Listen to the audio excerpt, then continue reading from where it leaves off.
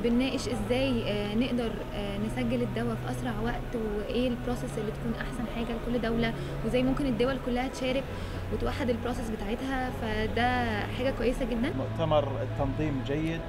والمواد ال- والمحاضرات ممتازة ومفيدة ومثرية جدا للجميع. We're very happy إن إحنا نبقى part of it. وال exposure اللي اداهولنا. ميرسي قوي حقيقة سعدنا جدا بالمشاركة بالمؤتمر وسعدنا بالحضور. الحضور كان غير متوقع فعليا يعني بضخامة العدد اللي حاضرين.